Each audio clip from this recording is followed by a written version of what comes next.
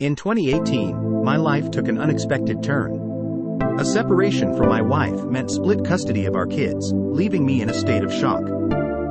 It hurt even more when I found out she had cheated.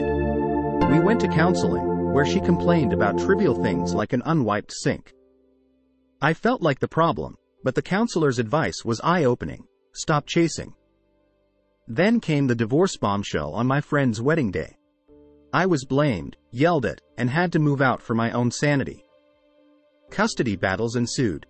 But then, a glimmer of hope emerged when a friend's friend offered me a mansion for $500 a month. It felt like a breath of fresh air.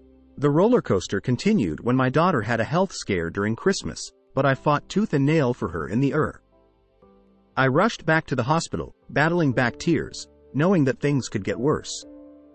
But despite the heart-wrenching journey, we've made it to a better place. We've endured, we've survived, and together, we're stronger than ever.